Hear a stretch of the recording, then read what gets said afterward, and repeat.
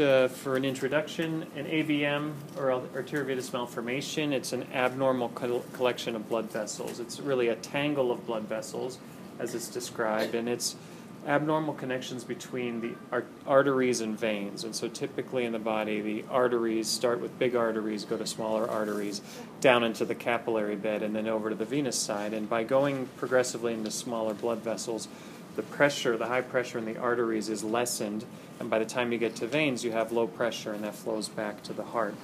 Um, with an AVM, that's that process is disrupted early in um, uh, gestation, really. They're congenital lesions, and so what you have is you have the high pressure blood flowing into directly into veins, and so you have a high pressure system, and that high pressure system uh, can cause problems. Um, prevalence is about 18 in 100,000, so it's a pretty rare disease, but uh, there are a significant number of patients out there with AVMs, and importantly, oftentimes we find them in younger patients. That's because they're congenital lesions. Uh, people are born with them, and uh, they do come to attention because of symptoms, and most of that happens before the age of 40. So that makes it extremely important. Um, here's a picture, and I don't have a pointer, I'm sorry, but this is um, an arteriovenous malformation. So we talked about the large arteries coming into this tangle, and that tangle is called a nidus, and that's really the high pressure abnormal tangle of vessels. And from there, the blood goes directly into this draining vein. And normally, when you see blood in the venous system, it's blue. That's because it's had its time to pass through the capillaries and lose its oxygen, and so it's deoxygenated blood. But in an AVM, you have high pressure blood flowing through, so you actually have red veins. So if you look at an AVM on the surface of the brain, it looks red even in the veins, and that's a big problem because the veins are not designed to um, to deal with that kind of high pressure, and so there's a tendency to bleed. Um, very important. I'm sorry, can you explain that one more time? About Sure. Because I thought that uh, blood didn't turn red until it hit oxygen. Correct. Okay, so how are they red in the, Well, because here, instead of the process where the blood goes through the smaller, as the blood goes through the smaller arteries down into the arterioles, then into the capillaries, when the blood vessels become so small in the capillaries, you basically have almost single blood cells going through, and that's where all the oxygen comes out of the blood vessels because they're thin walled capillaries and the blood cells are marching through and the blood cells lose their oxygen to the tissue. And because here you're just dumping this blood into the veins directly, it stays red. There's nowhere for it to lose its oxygen.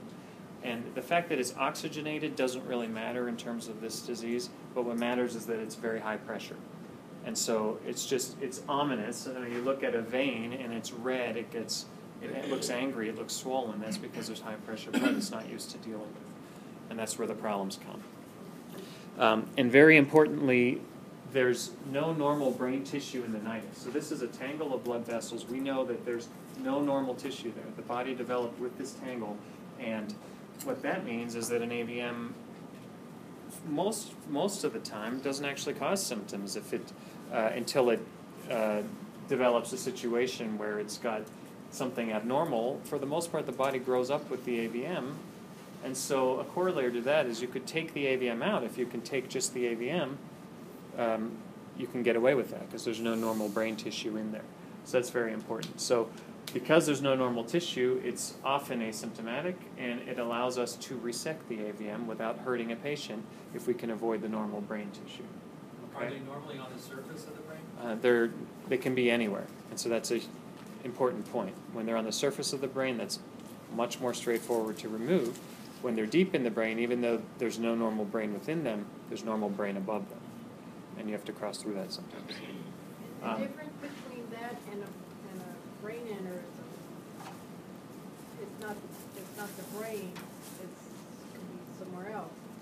Um, Well, a brain aneurysm is is a weakness in the wall of the blood vessel, and it can develop anywhere really, but tends to develop on the larger blood vessels of the brain at the base.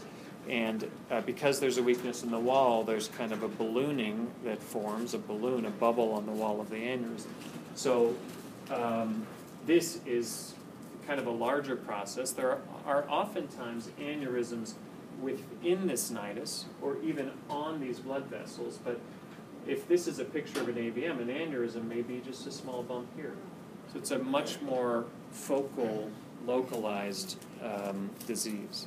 So they just actually just twist together, is what you're saying, once it's. Well, they, they just form like that, but they are Oh, they all do. twisted together. It, it's not a progressive thing. If you look at an AVM in a kid, uh, two years old, and an AVM in an adult, 60 years old, we, we never do that study, so we never know what an AVM looks like in the same person over that many years for the most part. They can change, but not very much. They look pretty much the same So because pretty much the architecture is gonna be the same, exactly. except for in a kid, it's just gonna be smaller. And then as they get older, it's gonna Well, be yeah, bigger. certainly as everything grows, it will expand. So what you're saying is that it's present at the time of birth and if someone had just checked for it at the time of birth, eyes could have been kept on the AVS. or the- Absolutely, you, you would find them if you looked, but, um, you know, they are not necessarily easy to find, um, because to find them, you need to do some special imaging to look at the blood vessels, and that's not something we routinely do on every, uh, patient that's born. What, um, I had an AVM and um, a a ruptured um, vessel, I guess, inside the AVM. and Sure. It presented, um, who's the doctor that, uh, Dr. McDougall. McDougall? Sure. Um,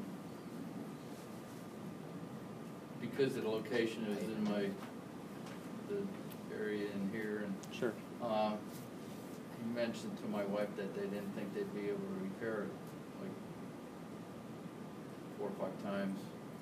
So, what, what kind of challenges does that, does that make when the aneurysm is inside that AVM? Um, so you're saying because the AVM is so Yeah. deep in a place that's Yeah, hard to get and to, then just- there's an aneurysm in that location. Yeah, Um, well, the when you treat an and we'll talk a little bit more about that. When you're treating an AVM, typically your the goal is to remove it, so get around it and remove the whole thing. The a small aneurysm inside the AVM is not something surgically that you can go in and target because you're working in the AVM. Uh, you would have to uh, you wouldn't be able to get in there without having a, a lot of bleeding from the AVM. So the way to do that, to try to target that, would be to try to go up with a catheter and do it like what we're going to discuss, embolization. yeah. But if it's such a small part uh, buried in that nidus, these it's sometimes easy enough to get a uh, catheter up near the nidus, but to navigate a catheter in here would be extremely difficult Yeah. because the vessels are so small, so twisted, and so fragile that trying to get in there to find just that one area of concern would be extremely hazardous in a lot of cases. Probably cases. why it took them three hours. Well, you got very lucky, you had Dr. McDougall. Yeah. He, he did. I agree. glue gun. Super glued it. He glue. Yeah, uh, that's, and we'll talk uh, about that a little bit too. That's some, one of the techniques for embolization. What kind of pressure difference is there between the artery and the vein in that situation that you're talking about? Not much, not much at But all. it's, well, you're saying one's high pressure and the Right. other's low pressure. We're only talking, Oh, you're saying in a normal, normal system? Normal system, you have a systolic blood pressure of 120 and a diastolic blood pressure of 80. Uh, mean arterial pressure is somewhere a little bit lower than that. Um, venous pressure is like 5, 10. So much bigger difference. The pressure in the vein, if you uh, cut a vein, it oozes a little bit, but you put pressure on it, it stops by itself. You cut an artery, it spurts, and it's very hard to stop because it's very much higher pressure. So, uh, presenting symptoms, we mentioned a few of them. The, the biggest one is hemorrhage. The most common presentation is with bleeding because of this pressure difference we talked about. Uh, AVMs can irritate the surrounding brain tissue, and patients can develop seizures because of that. That's another uh, reason that they come to our attention a lot of times. Focal neurologic deficit, meaning weakness, numbness on one side or the other. And that happens for a number of reasons. Importantly, if you have this AVM, this high pressure, high flow system, it can actually steal blood from different parts of the brain because it's drawing all the blood into itself then it can starve some of the surrounding tissues. So patients can develop symptoms because those parts, surrounding parts of the brain aren't getting enough blood because it's all going to the AVM. Um, headache, a lot of things can cause headache, but certainly an AVM could cause headache if it causes irritation of the covering of the brain. We mentioned there's no real pain receptors in the brain itself, but there are a lot of pain receptors uh, in the covering of the brain. So that certainly can can uh, bring it to attention, and in some cases they're incidental. So you get a an imaging study for some unrelated reason and you find it. and so um, that's the minority, but there's probably a lot of patients out there with AVMs that don't know it because they don't get pictures taken. Um, AVM rupture, we say the annual risk of rupture is between 2 and 4%. So out of 100 patients, between 2 and 4 every year will have a, will have a bleed. That means 96% don't have a bleed on, in a given year. So it's a low risk of bleed, but it does add up over time. Um, if you find a patient with a ruptured AVM, the risk of having another hemorrhage is much higher. So if we see a patient that has a ruptured AVM, it pushes us to treat it much more aggressively than if we see a patient with an unruptured where we have to consider other things. Um, the peak age for hemorrhage is young, so that means, uh, again, that's because AVMs are discovered in younger in patients that are younger, and they have them from birth. So the risk of them bleeding early is higher than, say, a disease like aneurysms that tend to develop later, and then patients that present with bleeds from aneurysms tend to be older. Uh, at least 50% of patients present with hemorrhage, and when a patient does have a hemorrhage, 10% of patients will actually die from the hemorrhage, and 30 to 50% will be injured in some way. So this can be a, certainly a serious event if you have an AVM that bleeds. So are you always born with an AVM, or it can happen in other situations? We, we, we consider them to be developmental, so we don't we don't consider them to develop um, later in life. When we see an AVM, we consider that it's been there in some form or another for the entirety of the life. Is there, are there any studies that indicate that heredity might have something to do with the formation? of the- Definitely, and there are some hereditary conditions that are associated with them. Most prominently is something called HHT, which is hereditary um, telangiectasias.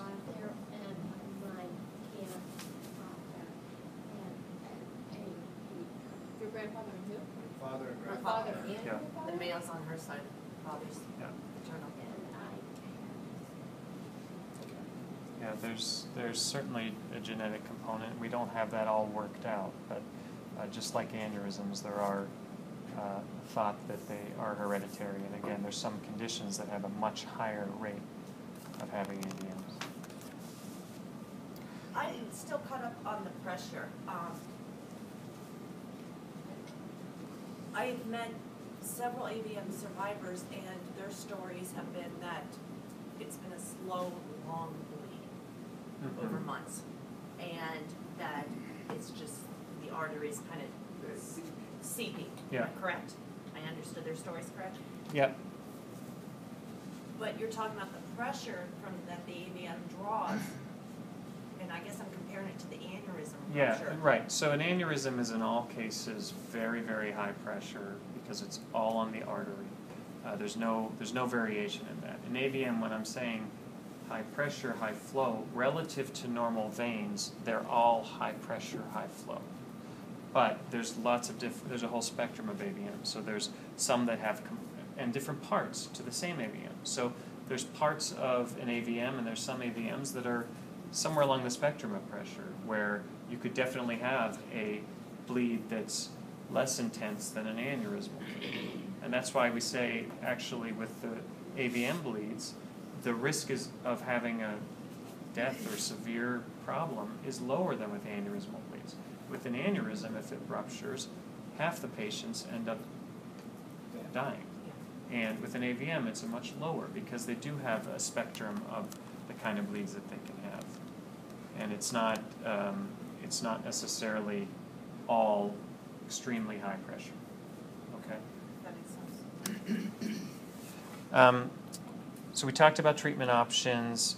Surgery is the classic one, radiosurgery, embolization, and then observation. For some patients, um, watching an AVM may be appropriate. It really depends on where the AVM is, what the risk of resecting it is, um, versus the risk of it causing a bleed. Like we said, two to four percent a year for a normal AVM.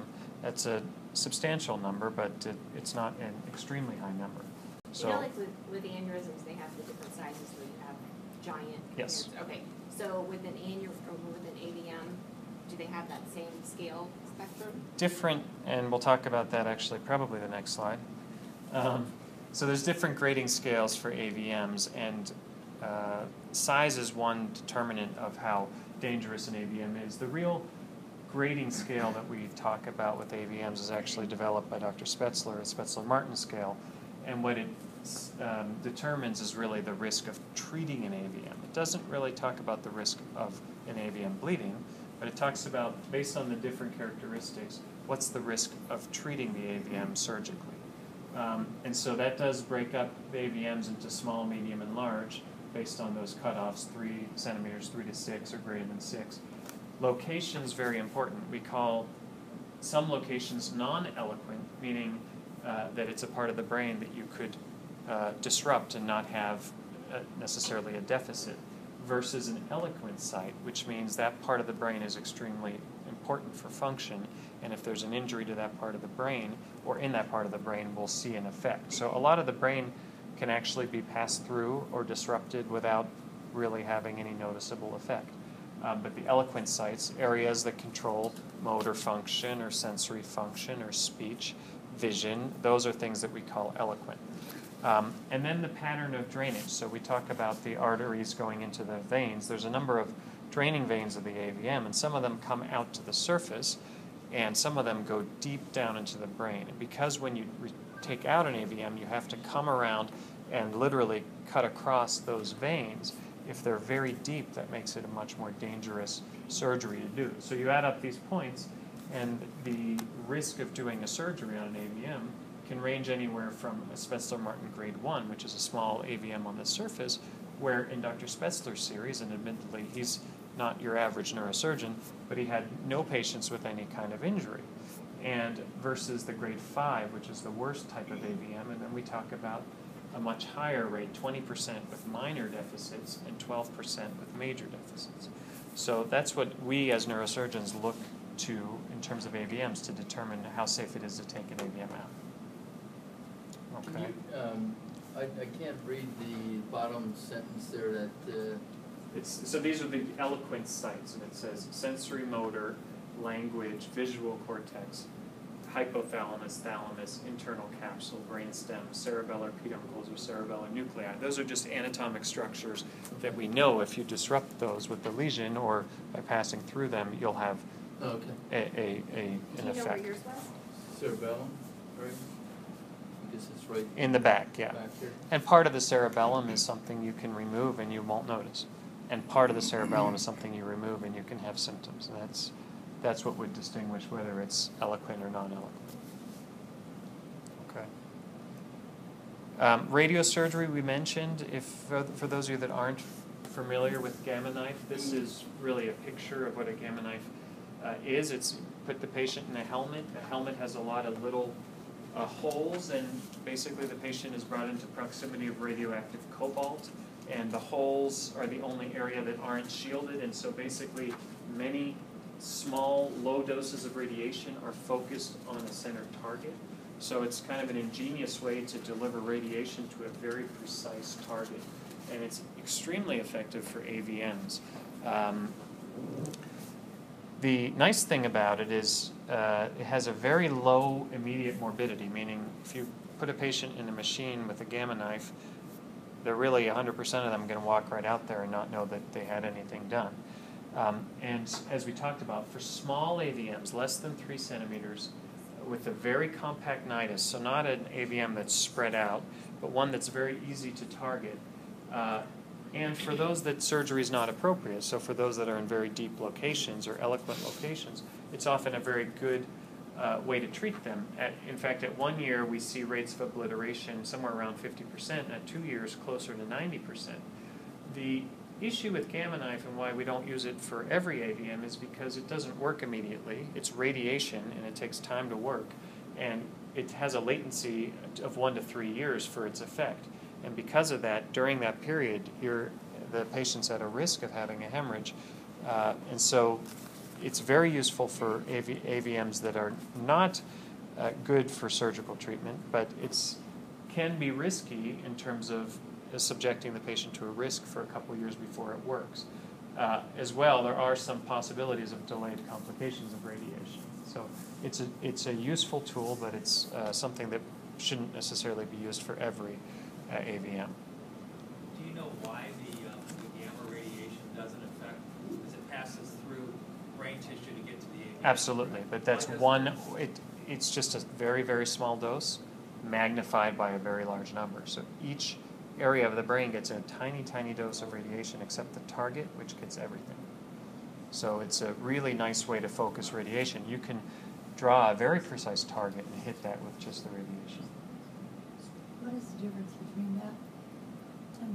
proton beam therapy? It's um, similar, but the I haven't heard anybody using proton beam for uh, for vascular malformations. Uh, that's used more for skull-based tumors or, or bony tumors lower down. Um, so I, I don't actually uh, know of anyone who's used proton beam therapy for for AVMs. I just wondered, if the gamma rays and all, if that had any similarity there.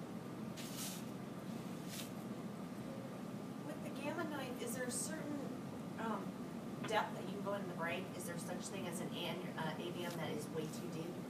There's not really. Uh, we can target way in the center of the brain. The, the issue is uh, if you have an AVM that's near something like the brain stem, the stem coming up the brain, or near the, the nerves, the cranial nerves, the nerves to the face, um, then it becomes tricky to target only the AVM and not the surrounding tissue. But in terms of depth, it, uh, you can get anywhere with the gamma knife. Only has to make it halfway.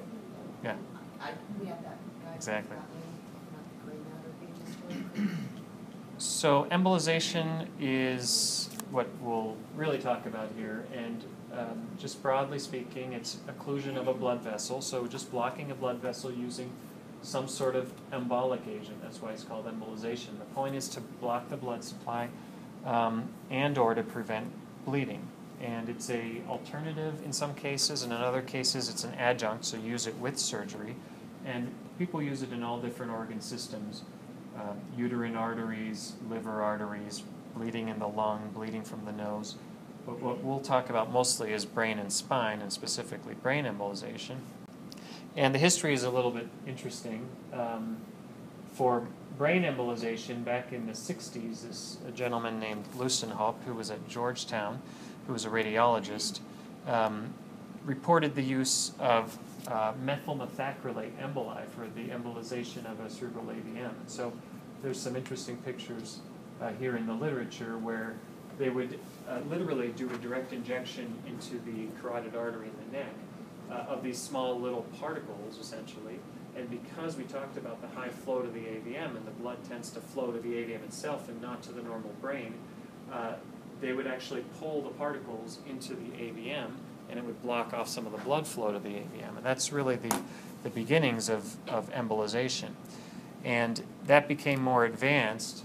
Um, here, there's some other interesting pictures where he developed a, a system where he had a basically a glass tube that he would uh, stitch into the external carotid artery. And then he developed these um, balloon tipped, uh, essentially tubes, little catheters. Um, and he could actually let the flow drive those balloon tips again to the area of the AVM, and then he could inflate them. Um, and then decide if he wanted to uh, leave them there or pull them back. So it's, uh, again, very early embolization. Here's an old uh, picture um, where he has, it's hard to see here on this old angiogram, but this is the AVM, and he's basically directed this embolus up to the top of the blood vessel there. And these two gentlemen published a, a series of these embolizations in uh, 1975, patients with large AVMs, and they changed their materials along the way. So they started using these silastic spheres uh, with metallic markers and other um, materials, and they generally were about two and a half to four millimeters in diameter, and they would again send them directly up into the arteries in the neck. And they quote they quoted or they were quoted as saying that putting these materials in the groin, which is what we do today, um, have, has only restricted application because of the limits on the size of the emboli. So it's just kind of interesting the way they started thinking about this, and you can see here on basically coiling, right? I mean, Similar, To a degree. similar. It's more embolization. Coiling is a type of embolization, but it's an extremely targeted type, and we, we can talk about that a little bit, where you're putting everything specifically into the aneurysm and not into the blood vessel. Uh, whereas what we're talking about with AVMs, you actually want to block the blood vessel. You want to close off the blood vessel. Quick stopper in the drain. Exactly. And so here they have these metal balls, you can very well see on the x rays that are sitting in the AVM uh, and closing it off. And obviously, what we do today is extremely uh, different from what they did in the past. And um, just the development of what we do, going from basically launching these particles from the, from the blood vessel and letting them flow versus what we do, which is essentially steer and direct our catheters up. So uh, that took the development of these tiny catheters with soft tips. Um, and in the 70s, that these were developed by another radiologist, but they didn't have uh, the same materials that we have, and so essentially they would drive these catheters up and they would just cut into the wall of the carotid artery, causing a, an injury to the artery wall. So this was a real um, a real inhibition to, to progress in this field. In the 80s, we developed, or they developed, uh, the ability to put small catheters over a tiny wire, which would let you drive a softer wire through the blood vessel and bring the catheter over it, which is really what we do today. And we also use some other techniques. So if you're thinking about uh, driving catheters around in a patient, we still use the same x-rays that they used to use, and we inject contrast dye, and it gives you a picture of the blood vessels. But what we do now is use something called road mapping, where you take a picture of a AVM, and so this is the injection, which is typically in black, and then you basically turn the color white, and then this is the map that we use to drive our catheters along the blood vessel to the area that we want to use. And so that was an extremely important technique that was developed in the late 70s uh, and that we use every day today still in the angio suite. And again, all these techniques let us get the microcatheters right where we want them, which is right up to the AVM, um, where we can start uh, filling the blood vessels. Uh, another recent thing we've developed is if you imagine this is just the x-ray picture and this is and we'll talk more about this this is a picture of that material called onyx uh, which we'll talk about more in a second but in order to drive a catheter all the way out here along these blood vessels we need uh, some stability to our system. So we've developed these catheters that are called distal access catheters. You actually have a catheter in the artery in the leg, you have a catheter in the neck, and now you have a catheter up in the head, and then you put another catheter through it. And so these are just uh, different levels of stability, essentially. With each catheter within a catheter, you're able to steer a wire a catheter more uh, precisely. So now we'll talk quickly about embolisates, and so what it is today that we inject. Um, and we uh, recently, in the last couple of decades, used particles, we'll talk about, ethanol, which is literally pure alcohol, drinking alcohol. Um, coils are often used in AVMs, and liquid embolic agents are what we use mostly today. So particles have changed over time. People have used just silk sutures, they've used these silastic emboli, anything from muscle, gel foam, which is an absor- absorbable gelatin sponge, or historically, they'd even take a blood clot out of a patient and re inject it in to block the vessel. Um, particles these days are a little bit disfavored in terms of AVMs. Uh, it's it's still the kind of thing where you're essentially launching a small particle and letting it go where it goes. So it's difficult to control where they go. Um, even when they block off an artery, it, it can tend to reopen itself. And some particles that were used caused actually an inflammation of the blood vessels, so they weren't completely neutral. They still do it though? different. We'll talk about one kind of particles that we still use. It's called poly, polyvinyl alcohol, and it's a very neutral uh, uh, particle, but they still have those uh, downsides where you can't really direct exactly where it goes. But we do use it for things like nosebleeds, where there's tiny little vessels everywhere, and you can't possibly target every one. So we just want to kind of block off the general small vessels temporarily because the nose will stop bleeding if you do that. Um, ethanol is disfavored, mostly uh, uh, it causes sclerosis of the vessel, so it actually burns the blood vessel. Um, and it's still used in some AVMs in other body systems, but in the brain it causes swelling and it can actually cause seizures. Coils we do use, and I'll show one case where we did put coils. Um, they tend to be useful to block a large vessel, uh, but they tend to be less useful in smaller vessels because the coils themselves are pretty big. And uh, trying to coil up a coil precisely in a tiny blood vessel is often difficult. Um, so really what we use today, we talked briefly about this PVA, which is polyvinyl alcohol. Uh, but really what we use today is two materials. One is called uh, NBCA. It's a cyanoacrylate. It's literally a superglue. And it's essentially a liquid that when it hits the blood, it hardens. And it's mixed with the material that enables us to see it. The problem with uh, the glue is that it actually sticks uh, like glue should. We say that it's very adhesive, so it sticks to the blood vessel wall, which we want it to do, but it also sticks to the microcatheter. So we inject glue, we have to rapidly re- withdraw the microcatheter. Onyx is something that's been around now for um, about eight years on the market, and it's what we use the most for AVMs. It's a something called ethylene vinyl alcohol copolymer, uh, and it's mixed with DMSO, as dimethyl sulfoxide, which is a solvent, and it is, um, and then some tantalum powder, which is uh, contrast material, and it is actually very nice. It's non-adhesive. We say that it's cohesive. So the onyx that we use sticks to itself, but not to the blood vessel wall and not to the catheter. It actually flows like lava, and essentially, as it's deposited in the vessel, the DMSO uh, leaches out and the material solidifies. So it, this process happens pretty slowly. So it allows us to be more slow in our injection, and as a result, we can get better penetration into the AVM. Is this the, the product that is got a horrible scent? Exactly. The doctors. DMSO has a horrible scent. That they said is just nauseating. It's it can be uh, nauseating. It's something I didn't appreciate for probably six months of using it. Um, but And that's pa- the onyx? the, well, the, the on it's the material the onyx is Oh, okay. is dissolved in essentially. So Um, the DMSO smells. The DMSO smells So bad. does it come out of the, also of the, the body? The body, Like, yeah. So It- how long does the patient's, It's a couple of days. really a that couple bad? days, yeah. And it's in their breath. It's in their sweat. What does it smell like? I can't describe it.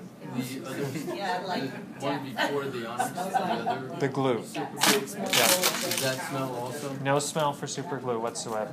Why use, why use this then? This is new, but it's it better? It, well, it has it has these properties that we were talking about, and I'll show you some cool pictures. So this is um, onyx on the left, and because it's uh, it's actually suspended in DMSO, and so it needs to be on a shaker for 20 minutes before we use it. And then we have basically the interface. This is the onyx mixed up, and this is just pure DMSO on the catheter. And we just inject the onyx into the catheter, and we have an interesting picture here. So this is what it looks like if it's coming into water and also into a blood vessel. It it flows like lava. I mean, it really it sticks to itself. It's uh, I don't know how to describe it. If you um, when I was a child, they had these firework type things that you lit, and they would the snakes exactly. That's exactly what it. It kind of looks like it's spongy. And why use it is because we can be very, very controlled in our injection. Like I said, with the glue, it goes out of the catheter, and you have a split second. You pull your, and you're done. And you have a little bit less control over where that glue is going. And with the Onyx, uh, you can just stop your injection, and it will stop, and you can redirect it. And it's it has very nice properties. That- That must have been what they used on me, because when they rolled me back into recovery, uh, my wife asked what the smell was, and they said it was from the glue. Yeah, and I don't understand why I didn't smell it for six months. It must have had to. Is that the same DMSO that was controversial? We used to use it for arthritis treatments and things like that? Probably, yeah. It, it penetrates the skin very easily. Uh, in fact, when I'm using it in a case, I can taste it in my mouth. Oh, you kidding. Uh, very small amounts. Now, we had, uh, goodness, the Somebody. Manning. Yeah. Okay, Manning came in and he was showing us the coils in August or July and explaining the cost of some of these procedures. Yes. And of course, with the coils, you're charging by pretty much the centimeter, the amount of wire that you use. How do you Essentially. charge with the Sonics? It's the vial. Really? The vial, yeah. Each So vial if is you a use s- a little portion, you like, or you pay for the whole vial? I, I think you pay for the whole vial, and each vial is a, s- a, uh, a cc, so a, a um, milliliter essentially. And um, some cases will use a fraction of a vial, other cases will use multiple vials. Really? Yeah. And I don't actually know the specific cost, but it, it's this is definitely a high cost material. Uh, the glue would be significantly cheaper. But is this the preference? Uh, it depends on who you ask. I think, um, think, for instance, here Dr. McDougall tends to favor onyx. Dr. Albuquerque tends to use a mix of onyx and glue. They both have their place. It really What would depends. happen if when you're using the glue, if you don't get, It would stick. The catheter would stick. So how do you get it out? yeah, then what do you do? So, and that's a good question because we and we talk to patients about this with uh, with. It's actually interesting because the glue sticks to the catheter and the onyx sticks less.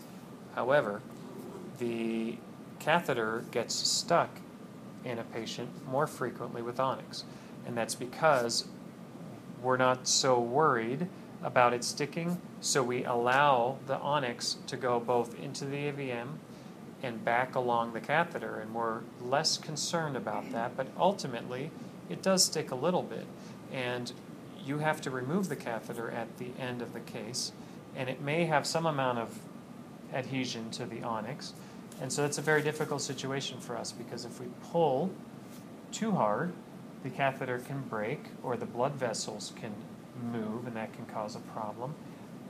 Or the flip side is leaving the catheter, and thankfully, most of our cases are going to the operating room the next day. So we just recently did a case where we left the catheter. We left it in our sheath overnight, and in the operating room, they took out the AVM and they cut across the catheter that was stuck in the AVM, and we pulled the catheter out.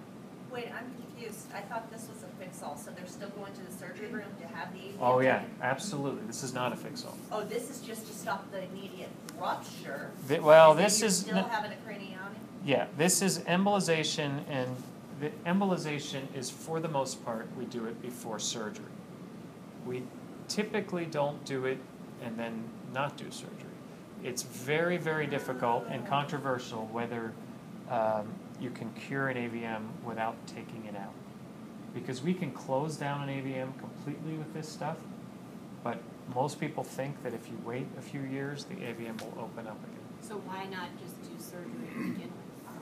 because we think that doing this first makes the surgery safer because there's less bleeding.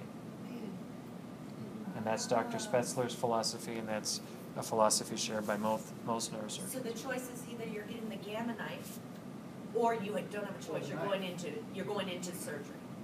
For the most part, yeah. And we, we'll we'll mention that quick, and I can maybe s- skip ahead to that actually. This is, this is uh, just an interesting picture of an AVM, but what you see in this AVM is dark vessels. So those are vessels that are filled with onyx, and that kind of helps the resection and marks the AVM. The, you know, because I got the, most likely the onyx, because it smelled so bad when Yeah. I got back to recovery, they, they didn't do any subsequent operation, and, and I think that's what they were concerned about. Yeah. um, Because of where it was located, and they felt that if they went in through my cranium, but. Yeah.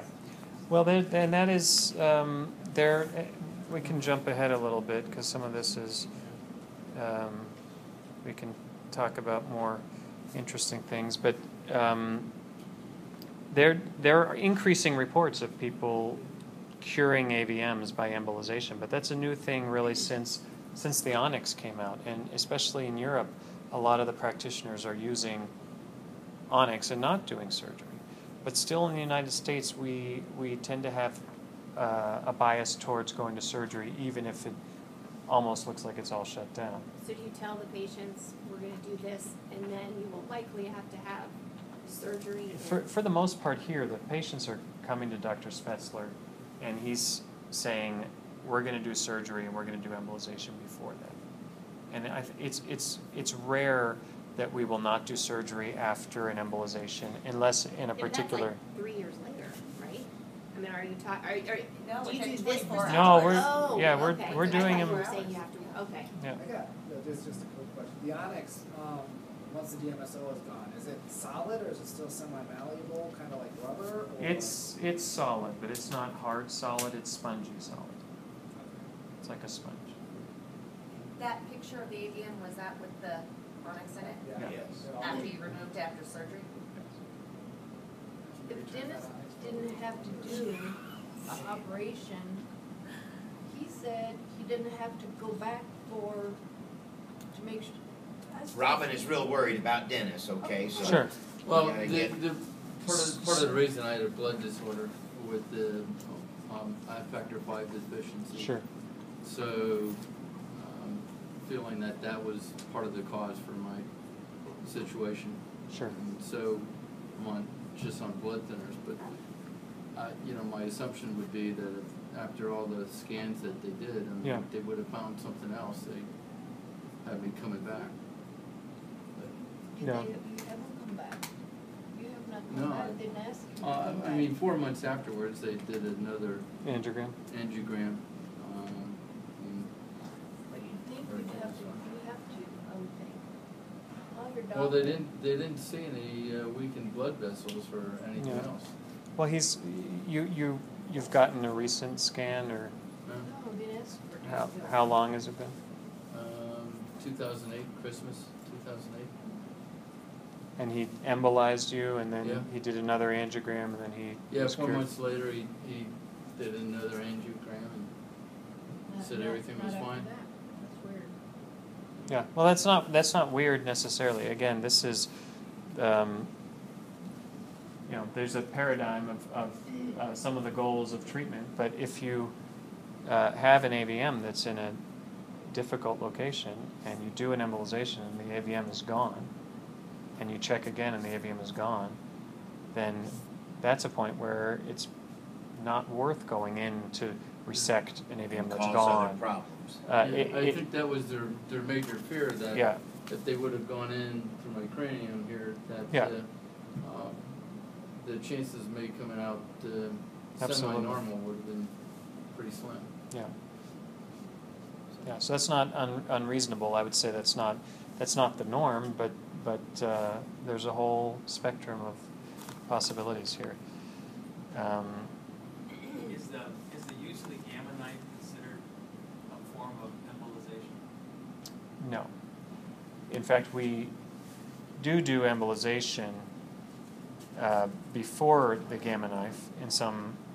Doesn't the gamma knife affect this at, at a cell level to where the cells grow and, and fill up the AVM? Correct. To make it solid?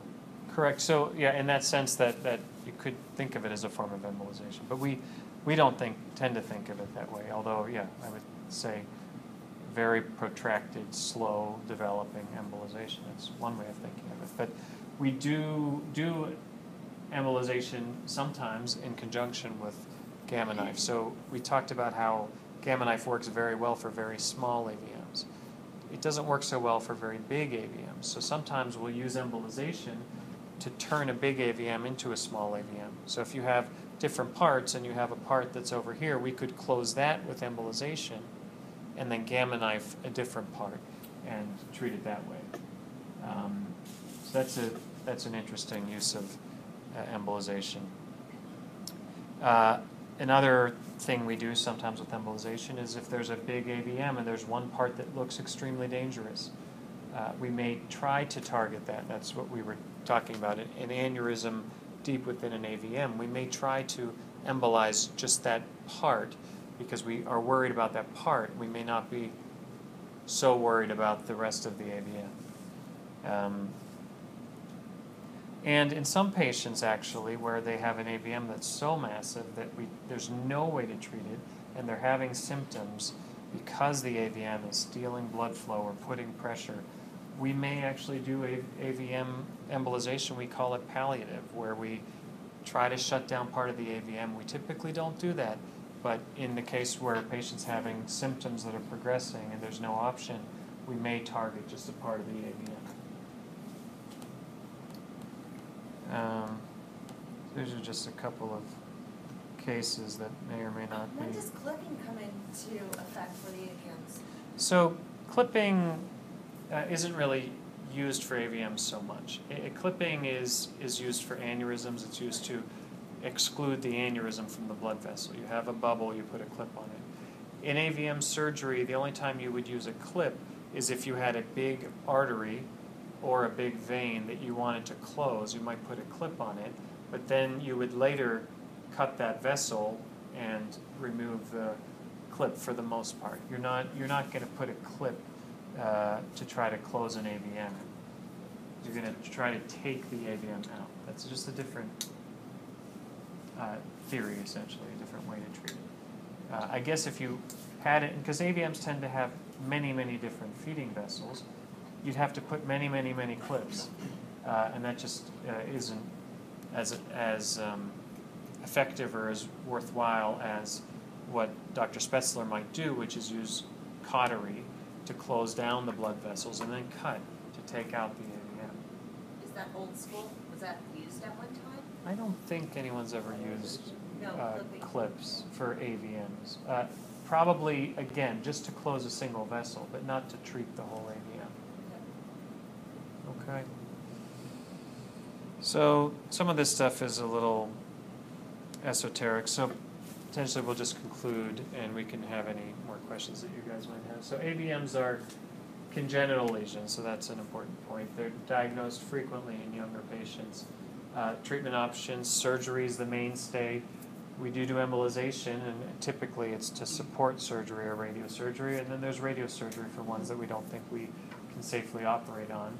And uh, we're seeing year by year changes in endovascular embolization techniques and materials that will allow us over time to do this in a safer fashion. And ultimately, I think uh, there may be a day when we're doing all AVMs just endovascularly and curing them all and not, not needing to do surgery. Uh, I certainly could see that happening in the future. What are the um, developments with treatments? Like what new research projects are out there, or what different treatment options are some of the device companies working on that have you brought. Well, interestingly, for the market seems to be more interested uh, or focused in aneurysms and uh, in stents and coils and devices. We haven't seen a lot of new stuff since Onyx came out for AVMs, uh, and I'm not exactly sure why that is. There's some work being done on some different types of liquid embolics. I think Mark Preul and the guys here are actually working with a group of engineers at University of Arizona trying to develop new similar kind of liquid polymers to uh, to close down AVMs. Um, for us, it's been mostly the catheters. So developing tiny catheters that can get farther, that are softer, that are easier to drive, wires. It's not very sexy developments, I would say, in terms of the endovascular stuff, but it's been mostly access to the AVM. Um, in terms of the research, people are uh, working to try to understand what kind of how AVMs develop, um, because clearly there's there is some um, abnormal growth that happens through growth factors, and uh, there's some thought that if you can understand how the AVMs develop, you might be able to reverse that process. But AVM does, so you're- you're born with one. Correct. And over time, most likely as you grow, that's going to grow It as changes. well. It changes, yeah. It changes both in size, um, but also in response to um, the environment around it. So because there's high flow, there can be changes to the blood vessels. So the blood vessels can develop little aneurysms. They can expand a little bit. The veins can stretch. Um, there's hypoxia, we call it, so the tissues get starved of oxygen, and when that happens, they secrete growth factors in response to that, and that might also play a role in the expansion or changes in an AVM. So for um, children, what, like, how many, like, um, brain aneurysms, 18 uh, for 100 had a brain aneurysm, right? Well, we talked about 18 out of 100,000 was the prevalence of AVM. Okay, what about if should you like if something for children? Yeah. What like 20? Uh, should you like a like a vaccination?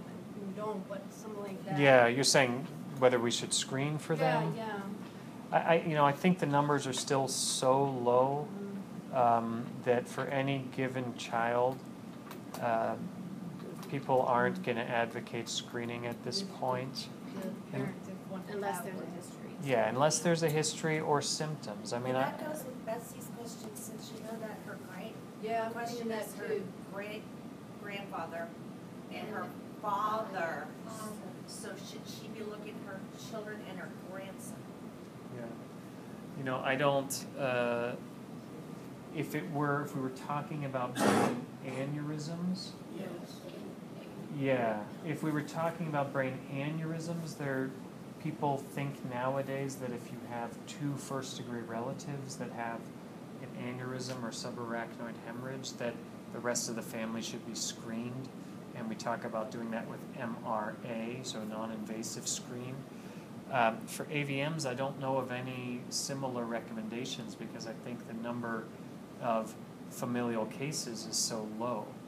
Um, so I don't know that anyone would recommend uh, screening, but you But if know, it's, it's, if, but if it's But proven that it's hereditary, Yeah. yeah. Yeah. then It's Well, a- let me ask if this was in your family, would you have your children in there? On Uh, screen?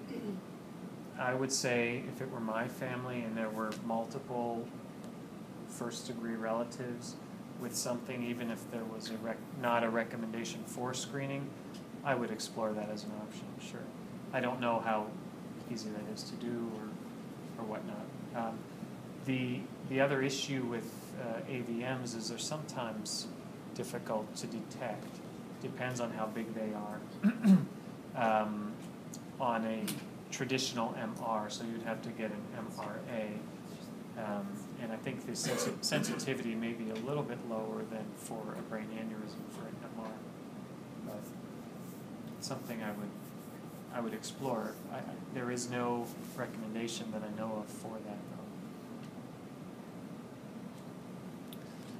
So, When you're talking, you were talking about catheters and feeding them up through the yes, veins and so forth, the arteries, um, are they just like a Roto-Rooter that you push up there? Are they propelled in any way or? No, so it's uh, it's all wire and catheters. So we work through a tube in the leg, and we basically send a wire that we can see on the X-ray, and we drive that wire. So the wire is stiff enough that we can work at one end and push it, and it has a soft tip, so it's not damaging anything. And there's a little curve to it, so we can twist the wire and we can steer it essentially. And we have a catheter that we just advance over the wire. And so we send the wire up into the brain, and we're, we're working here with our hands, and the, ca- the wires are deep in the brain. So it's, amazing. it's some remarkable engineering feat to be able to, to have that uh, amount of control of something 150 centimeters away. And you do that, Yes. that's what we saw Dr. Plesnick do. Huh? It was for an aneurysm, but that's what Dr. Yeah. Plesnick in Houston, when we went in, that's what he was doing. We were Oh, going yeah, in. yeah, yeah, Yeah. yeah. With the symptoms that uh, I'd had going into the hospital, where my m- motor functions on my right side. Sure. Vision, my right eye looked at my nose regardless of Sure. where I was looking. Um, what ca- what caused that? Just the pressure on my brain then, or? Well, I, I don't know your specific case, but if we're talking about an AVM that's down close to the brainstem, which is the the center of the brain essentially, and controls all the functions as they descend down to the spinal cord, Mhm. it could be from pressure because if again with the pressure in the AVM, the expansion of the vein, and there's not much space back there, so that could push directly against the brainstem and cause symptoms. It could also be like we talked about the blood being pulled away from the brainstem. We call that steal. So the AVM could have been stealing uh, blood. Um, and then obviously, if the AVM bled and caused a blood clot, that could push against the, the brainstem. So I think most likely it was just pressure because in that area there's not a lot of space.